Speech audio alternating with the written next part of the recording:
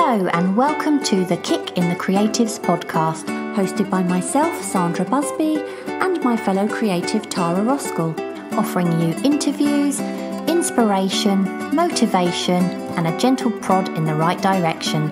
And for lots more information, challenges, and other useful tools to help you get creating, you can go to www.kickinthecreatives.com.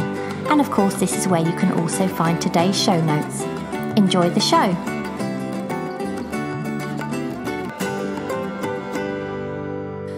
Welcome to the first episode of 2020, and we hope you had a great Christmas. And we want to wish you all a happy and creative new year. And of course, we can help you with the creative part. So head over to our website at kickinthecreatives.com to find out how. And we're actually recording this a few days before Christmas, so we're not quite there yet, are we, Tara?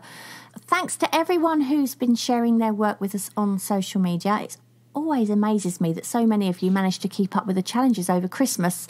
So uh, hats off to you.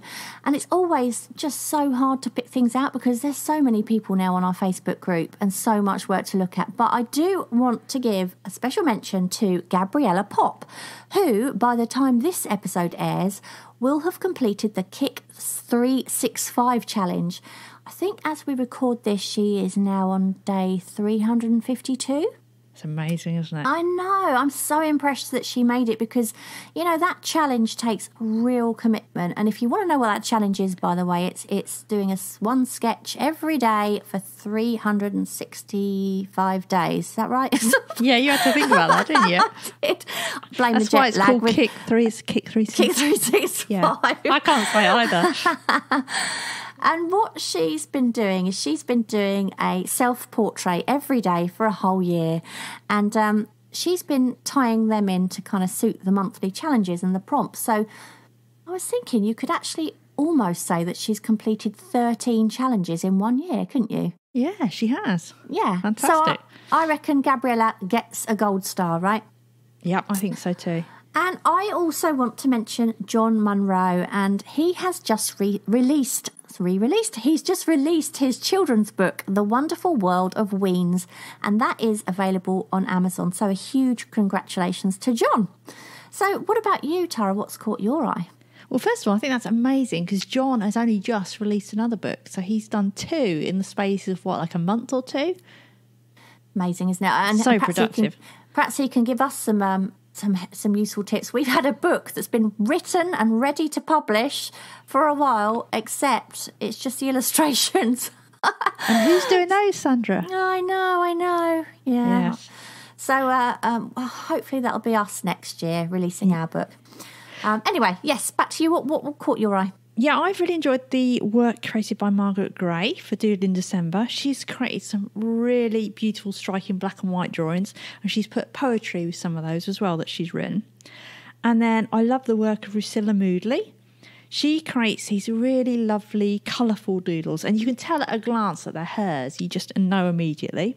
And then also Carol Whitmore. She's created some fantastic doodles, and I love the one she did to de- depict stress. It was kind of this weird creature thing. Really, ah. really good.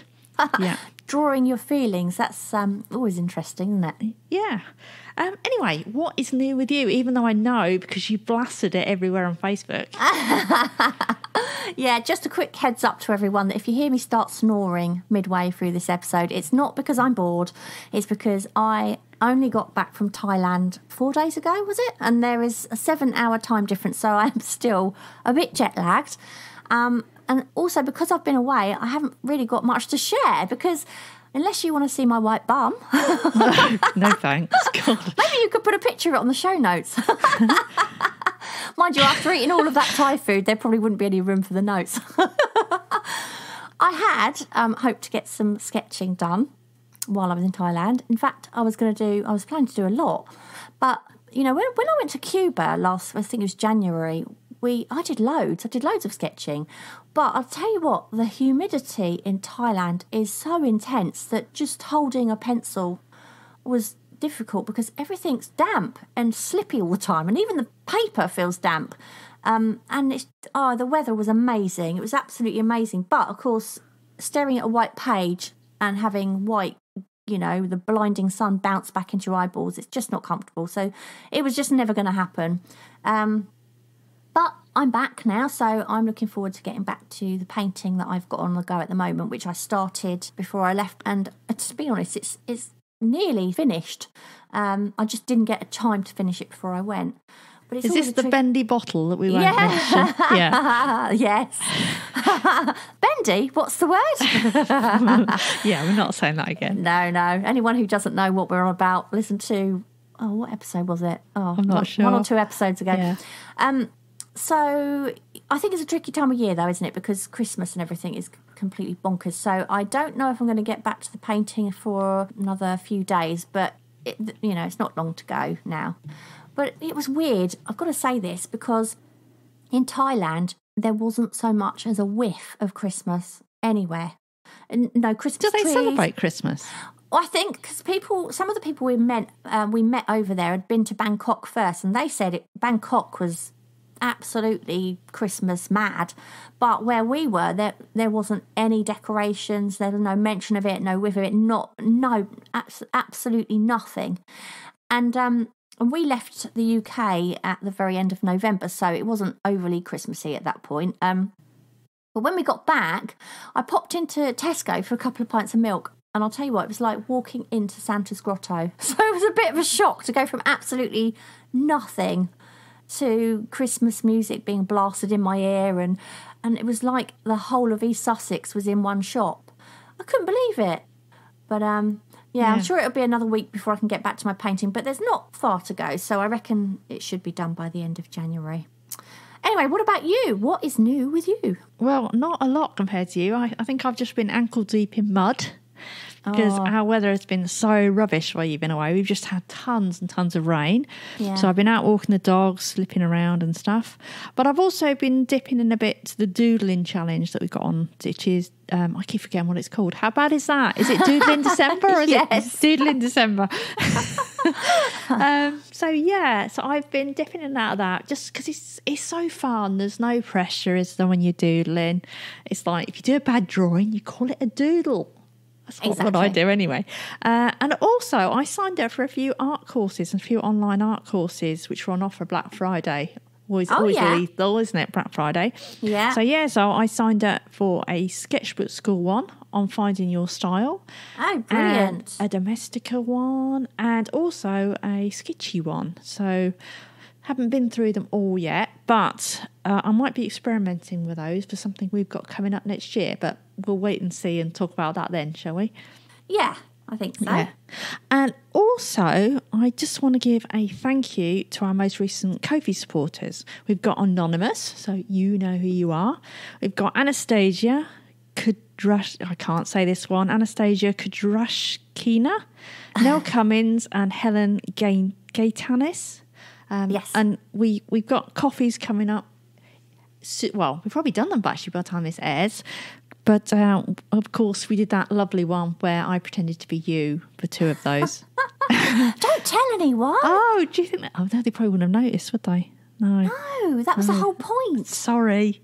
Yes. Anyway, yes. So when what Tara's trying to say is basically, whenever anybody um, supports us on Ko-fi, we will give you a frothy coffee moustache. Oh, And Ko-fi. We haven't told people what Ko-fi is. oh, you better do that then. Yeah, so Ko-fi is a place, it's K O F I, where you can support us by making a small donation to buy us a coffee, which helps buy things like podcast hosting, web hosting, that sort of thing, and props for our, our videos. So, yeah, if you want to support us, just um, go over to our website, there's a link over there. And thank you for people who've done so so far. Yeah, thank you. So, today we are talking about the power of continuous practice. And I think that most of the people who joined Kick in the Creatives at the start and have been joining in with the challenges ever since will be able to see how much they've improved by building a creative habit. So, if you haven't joined us yet and you want to improve your skills, then I think now is a great time to start, beginning of the year and all that. Um, I think any amount of practice is great, but like anything, regularity I think is the key. Um, if you look at it like going to the gym, going once or twice a week, well, it might be good for you, but you're not going to see any results um, for you know anywhere near as quickly as you would by going several times a week. So basically, the more you do it, the quicker the results. Yeah, and I think if you build in that time regularly, it eventually, eventually, eventually becomes a habit, which is the key to improving. So you don't think about how to do it; you just do it. It's like when I get out, I know I've got to take my dog for a walk. There's no question of it. It's that's just what I do, and that's how you know drawing or creating or whatever you do becomes. And and all you have to do is you have to build in things like having that always having that notebook by your side when you're sitting watching TV at night. And so it's much more natural to just grab it and start drawing. It's the same if you if you set aside a certain time every day you know that is your time. Like you used to do your morning sketching didn't you Sandra? Mm. I still you- do. Do you I thought you'd lapsed a little bit with that I lapsed a bit towards the end of the year, yeah, and obviously being away and stuff. But no, I still, I still, whenever I can, I still do. I used to do it every morning um, before work. I'd go into work an hour early, just to get some sketching done. Um, more recently, obviously, because of our video making and things like that, I've been putting some time, you know, for that. But Yeah. no, I'm trying to get back into that habit again, um, and I have been even like yesterday. I was out there sketching first thing, and uh, yeah, I'm planning to get back into that daily habit next year. I mean you well, can this year now. Yeah, I'm saying true. next year, but what, when this is airs, it'll be this year. I mean, you can also build in time for like lunch breaks and stuff as well, can't you? And I went to a business conference. How posh does that sound? A business I conference. know. Ooh. I went with my friend Lisa about a month or so ago, and I actually took a sketchbook with me, which is something I would never have done previously. I just wouldn't have considered it. And there wasn't, to be honest, there wasn't that much time for drawing. Um, because it felt a bit uncomfortable. You couldn't really do it while they were talking. It felt a bit uncomfortable. I did doodle at the end I got a bit bored. But I did sit and do a sketch while Lisa was in the coffee queue. Poor old Lisa. She's in the coffee queue. I'm sitting sketching. so, yes, yeah, I found myself. Were you sketching the queue? Yeah, I was. 'Cause ah. cues are so good, aren't they? And and did Lisa know? Was she kind? Yeah, no, Lisa didn't mind. No. she but was was she was she kind? Did she stand nice and still for you? No, I wasn't drawing Lisa actually. I was drawing two women a bit further down the queue. Ah, right. Um, I think one of them clocked me, but she didn't seem to mind, so I carried on. No, that's perfect time, isn't it? And it's, it's get, snatching those little bits of time, isn't it? That um, and little moments, like you say, having a, a book with you all the time is is key. I think. Yeah. I was, you know, I was saying about I want to get into the habit again this Yeah. year because I, I did every day last year. Um, well, not every day, but certainly the first six months of the year, I was out there every single morning, and Yeah. I've, I have a kind of idea in my head of, of you know, getting back into that daily habit of having to do it, not having to do it, but building that habit Yeah. and I'm not sure if I want to say it or not because then I'm accountable. I a, I Come a- on then. Yeah. because that could be part of what we were talking about before we. Well, on I. I have been thinking about this for some time, and it's it's not something I'm going to take on lightly if I do it because I don't want to say I'm going to do it and then it doesn't happen. If I say I'm going to do it, I'm going to do it. Um, so I'm thinking of doing the key, the kick three six five challenge.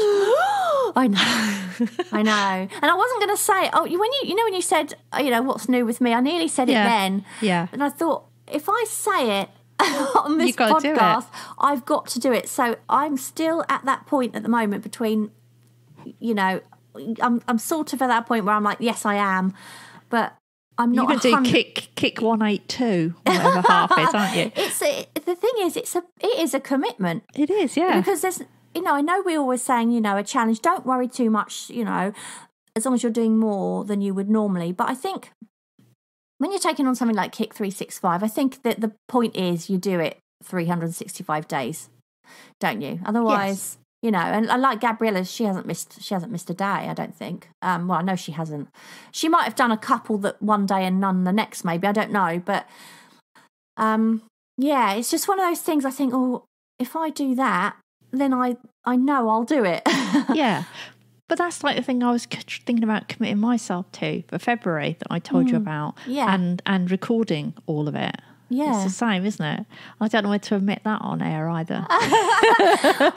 we could just say that me and Tara are both thinking of doing something. We you haven't can't decided bleep yourself yet. out now. You can't bleep out kick three six five. I've heard it.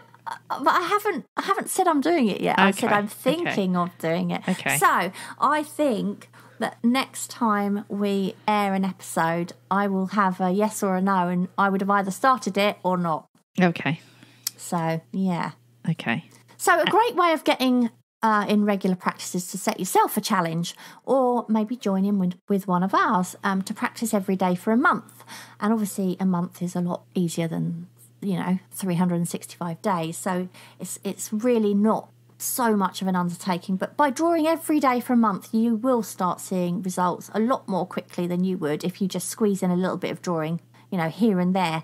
And consistency is the key, I think. Yeah, I think it's definitely better to spend a little bit of time every day rather than, you know, one big chunk. So, say you're going to say you're going to do eight hours at the weekend. Well, don't do that. Do half an hour, a quarter of an hour chunks each day. I mean, obviously, if you sometimes you have to miss, you can't help it. But if you break it down to smaller but manageable chunks, because you might say, oh, I'm going to do eight hours on Saturday, but then Saturday comes and things come up. So you don't even necessarily get that big chunk of time in anyway, do you? and it's really hard actually to to draw for eight hours Yeah. because you know it takes a lot of focus doesn't it Yeah, I'm not good at focus. no and i think really an hour is is quite good going for drawing or an hour or two and then you need a break. So yeah it would be hard to to actually like you say it's much better to do half an hour or 15 minutes or even 10 minutes a day than it is to try and just do it all in one lump. You'll get Yeah. much more out of it i think. And at first it can be deflating and you might not want to practice because you don't think you're very good. But you have to get through that part and just do it anyway. And the more you practice drawing the better you'll become and the better you become the more you'll want to do it and it becomes something you know you look forward to doing rather than feeling as though you're setting yourself up for failure which is a hurdle i think beginners often can't get past um, i know i remember that stage well it was years and years ago now but i, I remember just that feeling is like oh I don't want to ruin the page. Do you know what I mean? You just have to go for it. It doesn't matter. It's just a bit of paper. So I often liken it to going to the gym. As I said earlier, you know, no- uh, You don't know, go that- to the gym. nobody nobody likes going to the gym. Well only weird people like going to the gym.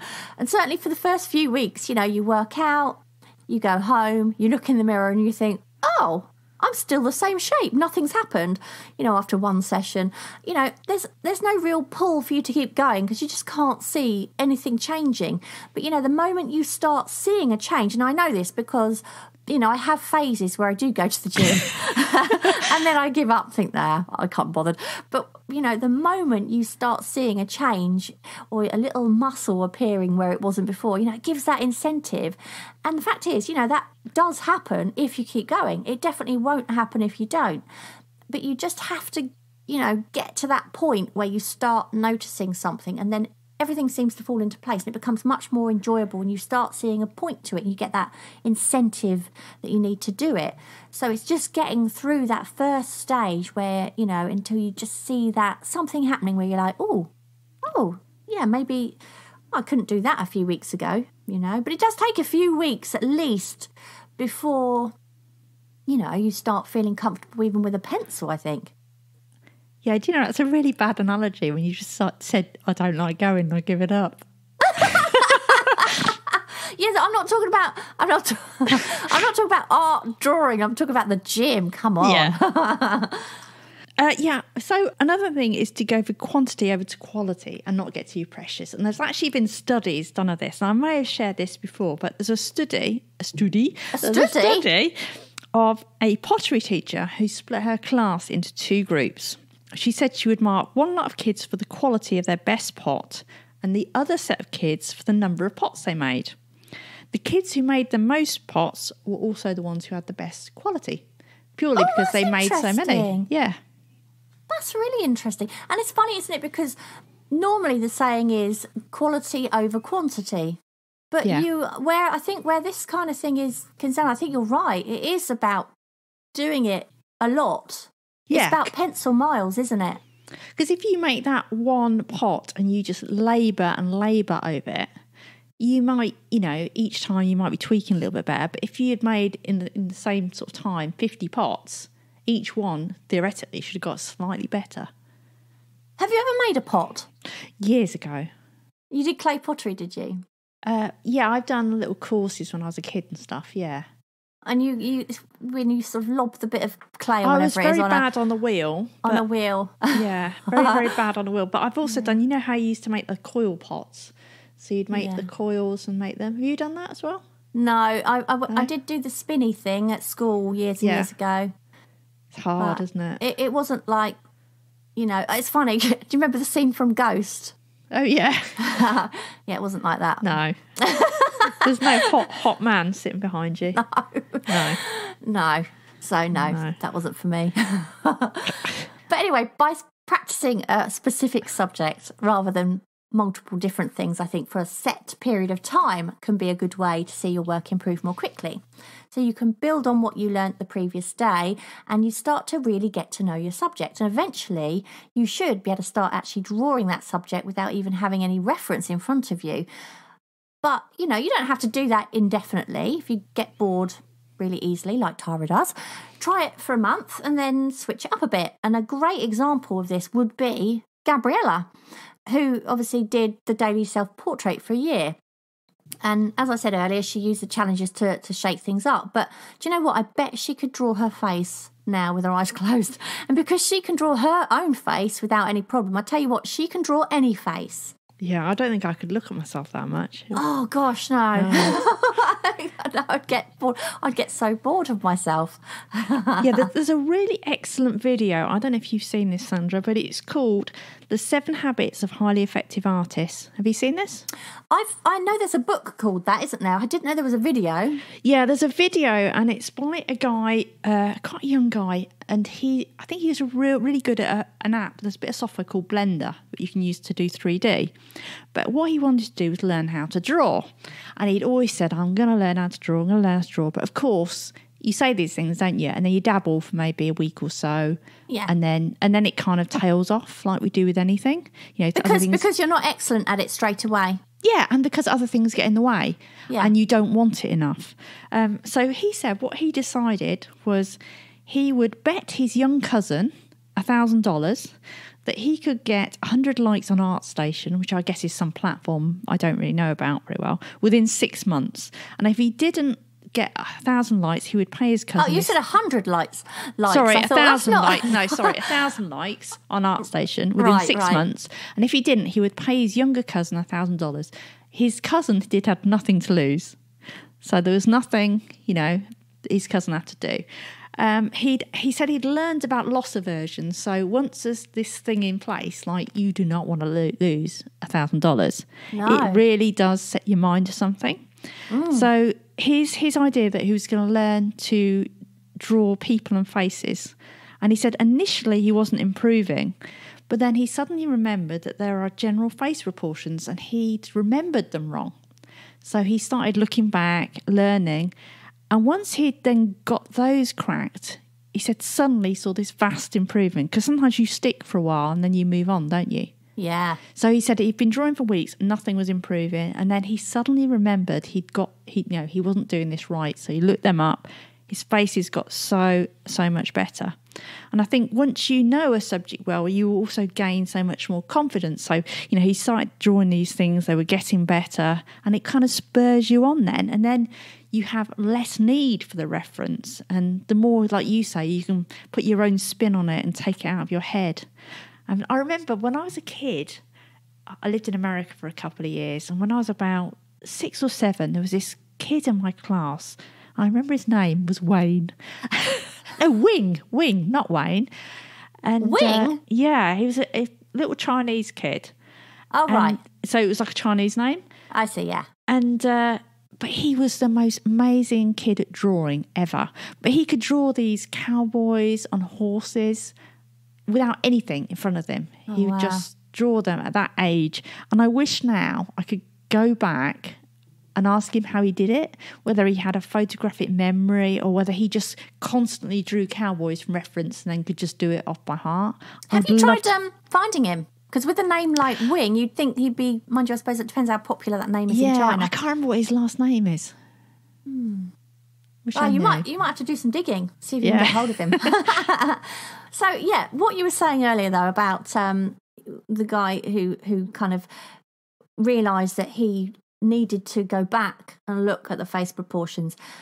So it's a quite. I'm glad. I'm glad you actually brought that up because what I think is important is not just um, talking about drawing every day. Because if you gave a pencil to someone and said, "Okay, draw draw something every day," and they weren't actively learning through, you know, researching things and looking things up and learning, then you're probably not going to improve very much, if at all. You might improve with your eye coordination and hand eye coordination skills, but actually, you, you do need to put some time into active learning as well. That might be watching videos or, you know, looking at drawing books.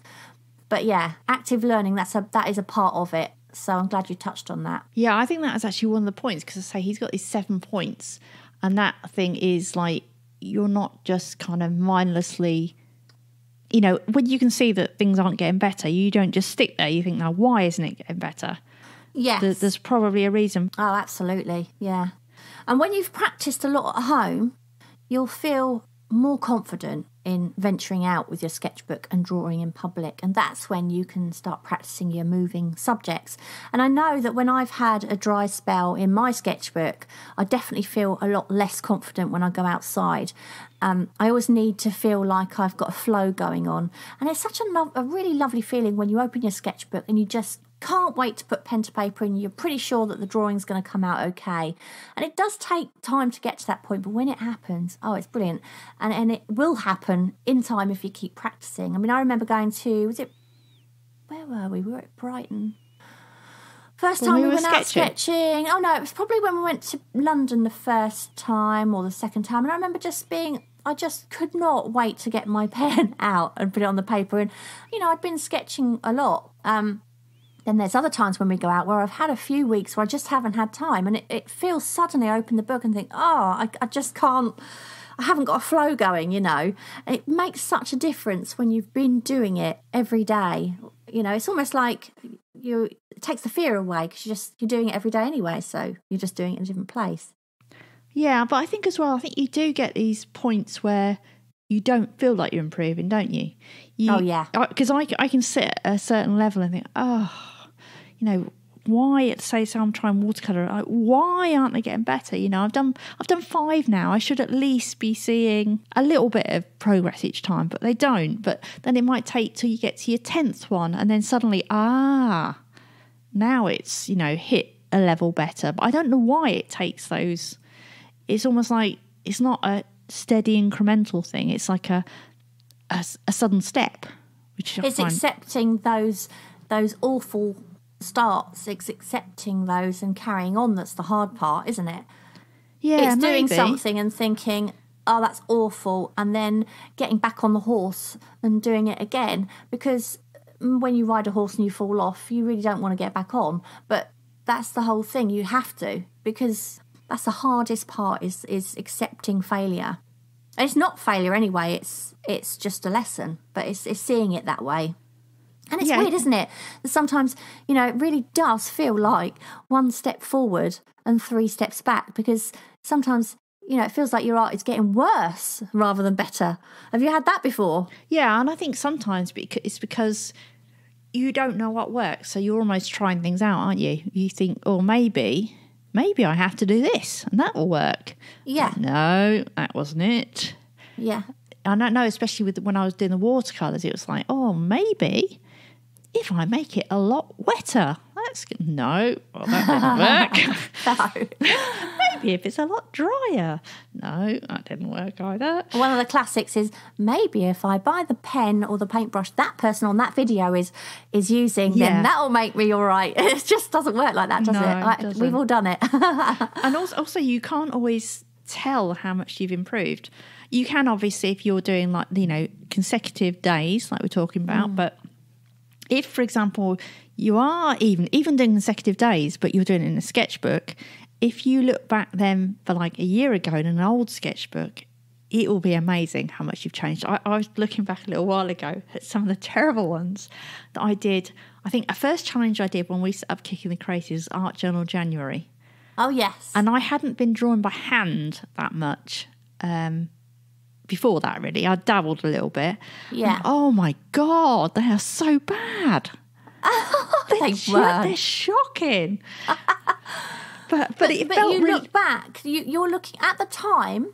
yeah. Did you think they were shocking then? I probably didn't think they were great, but I probably thought they were better than they, I do think now. And it's because you've improved, so you Yeah. can, you've got a, a you know you, a new sense of what you can and can't do. So back then you thought, oh, that's not too bad actually. I mean, it's not great, but it's it's not too bad. Yeah. Whereas now you're looking back and thinking, oh, that's horrendous, and that's just you know often you don't even know you have improved, like you say, until you look back. And also, I look years. at people on Instagram, say, and obviously there's people who I think are phenomenal on mm, Instagram. yeah. But also, I'll look at people who, who maybe two years ago I was a complete awe of, Yeah. and and I'll look at them now, and I, it's not that I, I don't think they're really good, but I d- no longer think it's not attainable. If that Yeah. makes sense. Yeah. It's like, oh, okay, I can see how you can do that.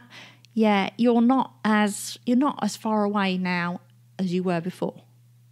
If that makes Yeah. sense. Oh, it totally makes sense. Yeah, I mean, we've all got, we've all had sort of that feeling where you go online and you sort of look at something and think, oh, I really want to be able to do that, and oh, how on earth, and that's never going to happen.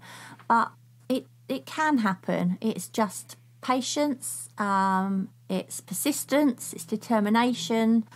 Um, it's being willing to be bad for some time, and sheer stubbornness, maybe. I mean, I do think you need a want for it, don't Yeah, you? you need do. a want. It's not just about. See, it's all very well practicing, but if if you if you want it bad enough, you will. But I think people who kind of just lose that momentum is because perhaps they don't want it enough. So when I've sketched regularly over a long period of time, it starts to feel completely effortless to start. Like I just know what I'm doing, and there's no fear fear barrier holding me back. And with that, I think comes confidence. And then the more confidence you start with, the better the end result because there's just no hesitance. So your sketch has that sort of more of an energetic feel. And I notice such a huge difference when I haven't drawn for a while, even after just a few weeks. Like the pencil just starts to feel like it doesn't belong anymore and it just takes a while to get back into the flow. So I do think it is a case of use it or lose it. Once you've got the skills, you still need to keep them up. I mean, we were talking about we keep referring to beginners, don't we? But actually even as established artists, you you still have to keep it up.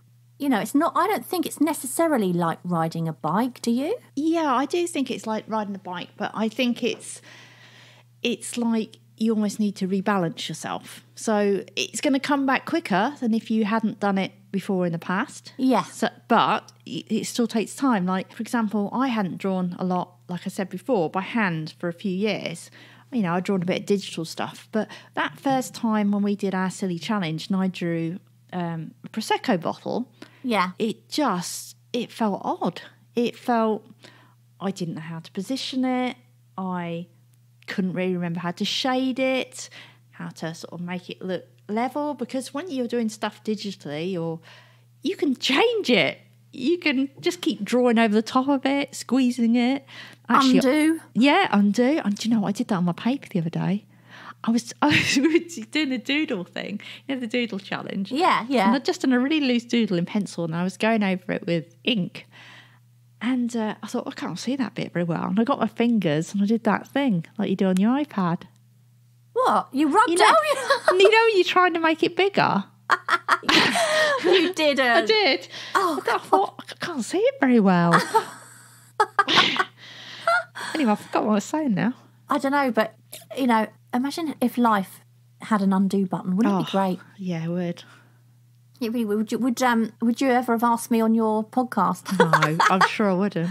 would you have pressed the undo button? Oh, probably. Your workload has like tripled, quadrupled Oh, since so we met. yours. Well, yeah, I that's bet, true. Yeah, I bet you think, oh God, why did I ever do that? Not at all. Not at all. So where were we? I don't know where we were. We, were talking about alien pencils. So, Oh, yes. yeah. So, so my so my pencil definitely did feel alien too, and I think that, that's a really good way of talking about it. Is the alien thing, isn't it? It's that it's just not feeling right and not feeling comfortable doing something. It's not natural, and that's what I think happens when you have that big break from something. It's it becomes not natural again, and it takes a while to get back into that thing, which is probably why the continuous thing works better because it it feels natural each time. You're not you're not almost getting those interruptions. It's like when you do a bit of work, you know, when you, you're trying to do something, uh, like write something or do accounts or whatever, you keep Yeah. getting phone calls. You get a phone call, but then it will take you 15 minutes to work out what you were doing before. And that's almost like what you're doing when you have big breaks in between your drawing, isn't it? Yeah. But you know, how how many times have you heard people say, "Oh, I wish I'd kept it up." Well, you just That's start another- again now, don't you? Yeah, but people say it a lot, don't they? Yeah. I hear it all the time. I wish I'd kept it up. Oh, I love your art. I used to draw. I wish I'd kept it up.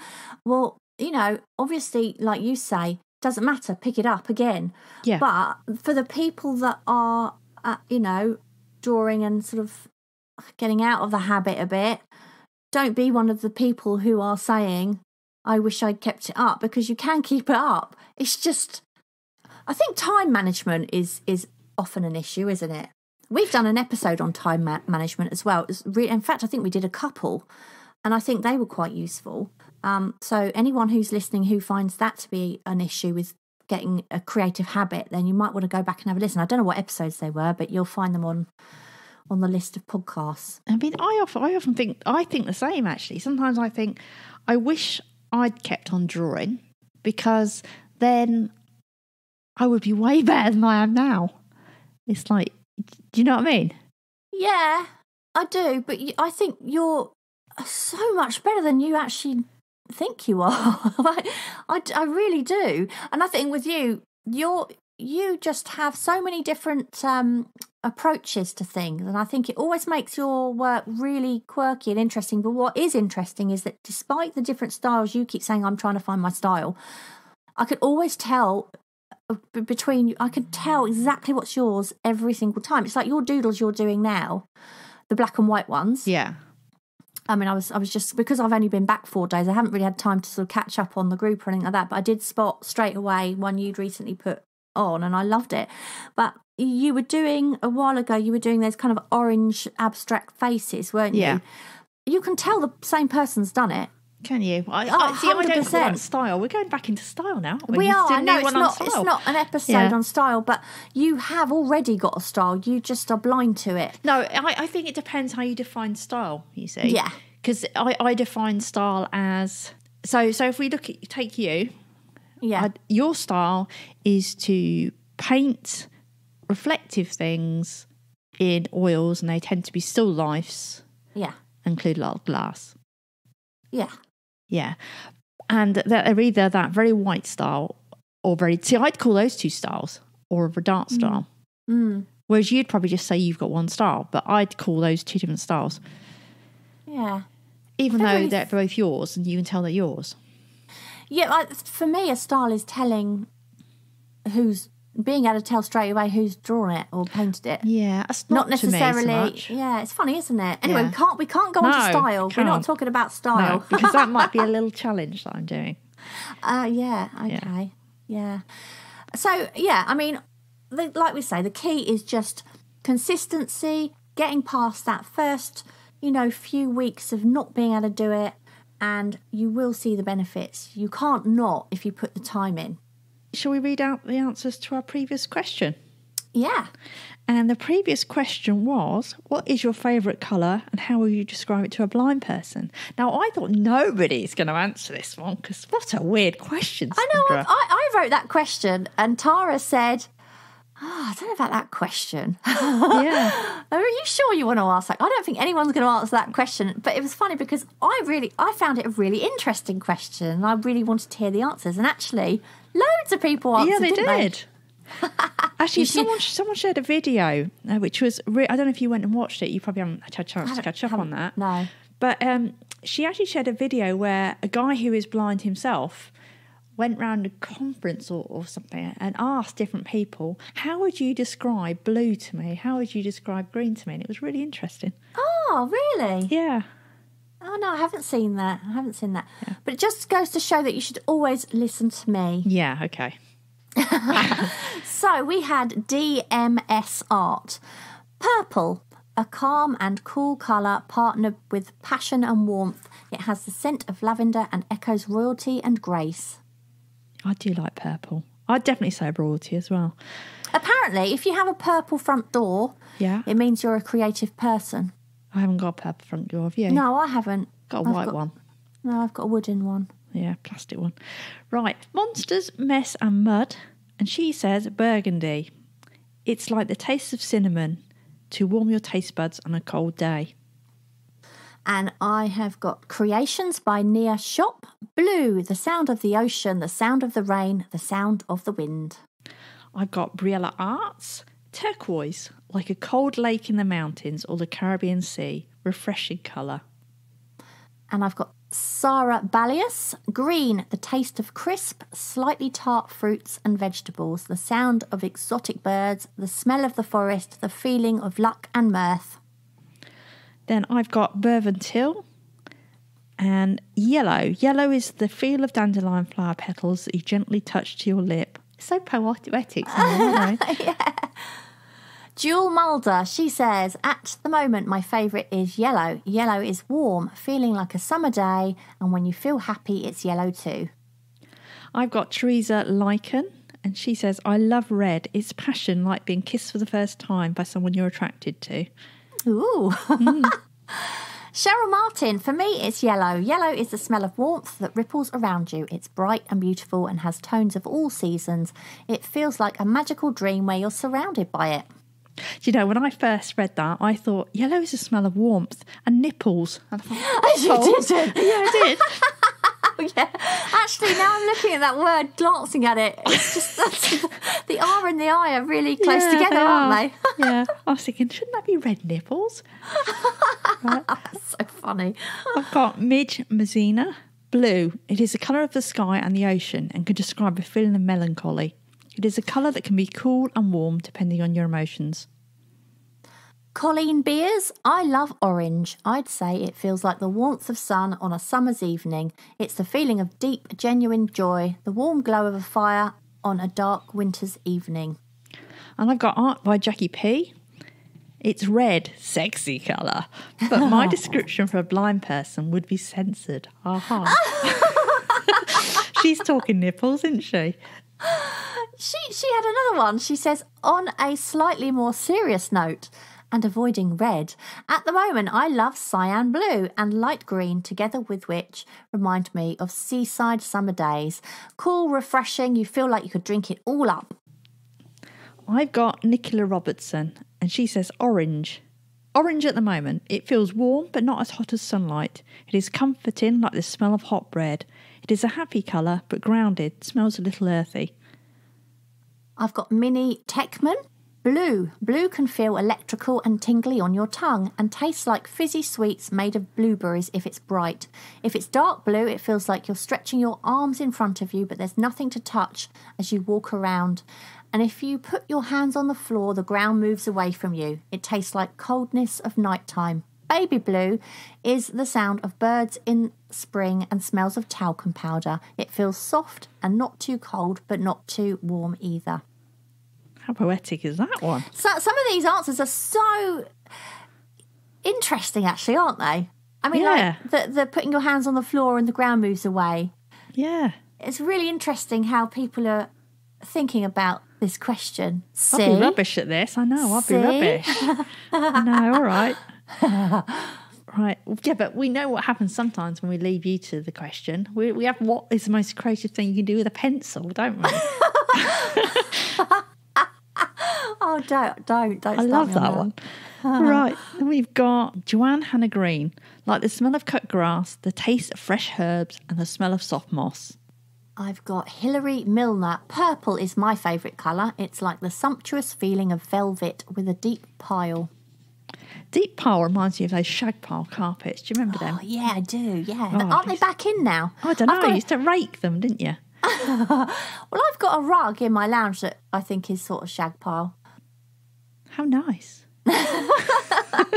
Margaret Gray, I've got, I love many colours. Since my dog is blind, I would describe the colour to her as this red is warm like a hug, blue is cool air and the water in a dish, green is the grass of spring and summer, yellow is the sun on your face, and brown is the earthy smells out in the yard. White is the snow and ice that covers up everything, clean and cold. Oh, that's so sweet. But would she understand you though if she's a dog? I don't know. I'd have to describe mine as like brown is a biscuit, red is a steak. It'll be food.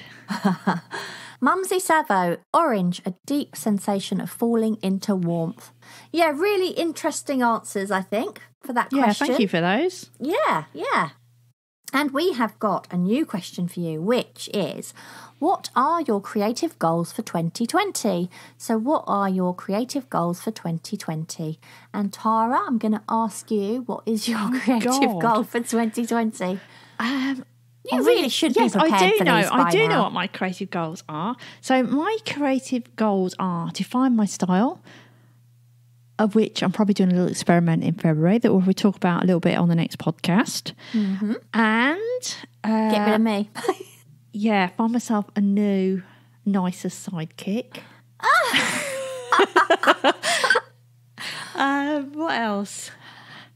Um, oh, and I, I, I kind of, yeah, I'd like to sell a bit of art. I think I'd like us to do some interesting things for Kick in the Creatives. Is this too Yeah. many goals? Um, You know Um, what you've got to do when you have a goal, don't you? what? You have Narrow to it write down to them one. down.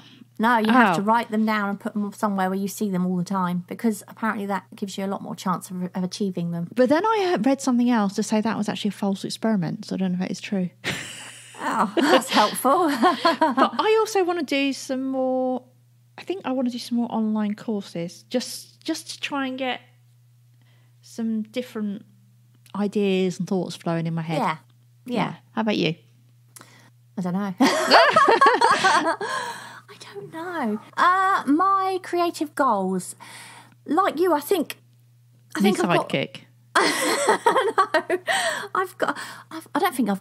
I would be able to get one that would be able to put up with me. To be honest, No, and maybe I don't not. think I don't think you would either. Thanks. Um, I think a lot of the goals are related to Kick in the Creatives. I mean, I would like perhaps to have another exhibition as well of my paintings. Can you believe Um, you're saying that after how much anguish you went through? My problem is getting enough paintings done. It might be that I have to wait another year. It might be that I have to.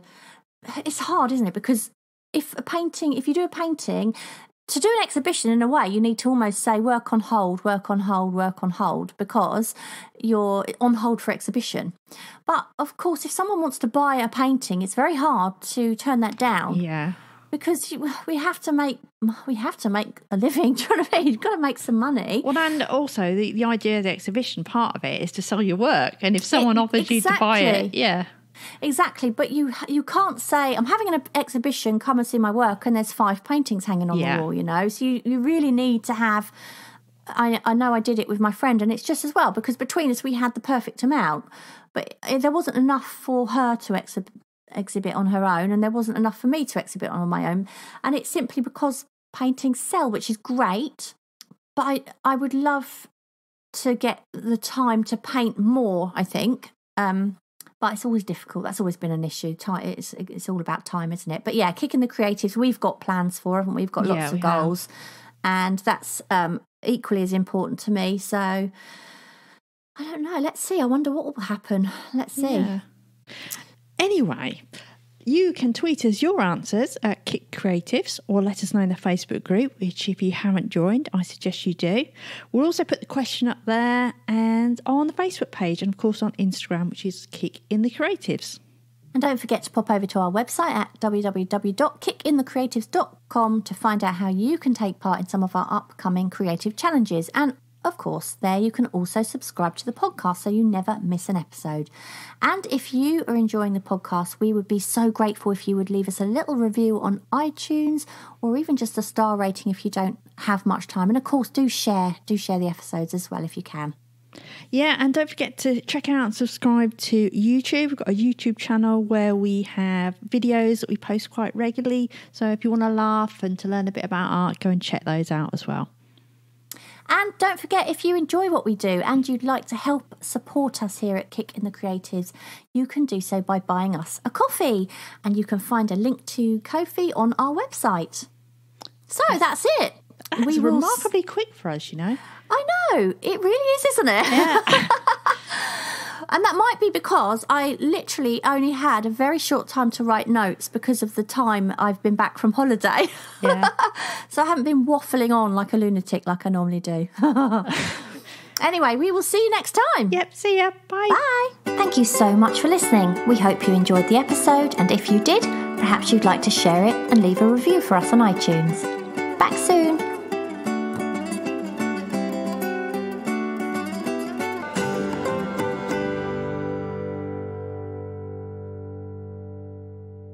You know what you were saying earlier about um uh oh god, I've forgotten. I told you I'd get. I told you I'd jet lag. Oh no! Hang on, I had a really important thing to say.